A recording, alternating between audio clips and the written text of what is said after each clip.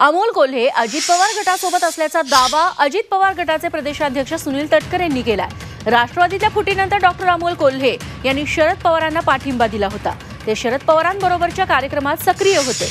मात्र आता अमोल कोल्हेनी भूमिका बदलली की काय असा सवाल तटकरेंच्या दाव्यामुळे उपस्थित होतोय.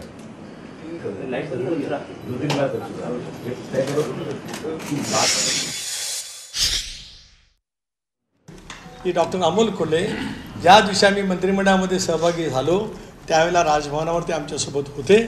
त्यांनी त्यावेळेला बाईटसुद्धा त्यावेळेला दिलेली होती. आणि म्हणून ते आमच्यासोबत आहेत अशी धारणा आमची आहे. सह्याद्रीची उंची म्हणजे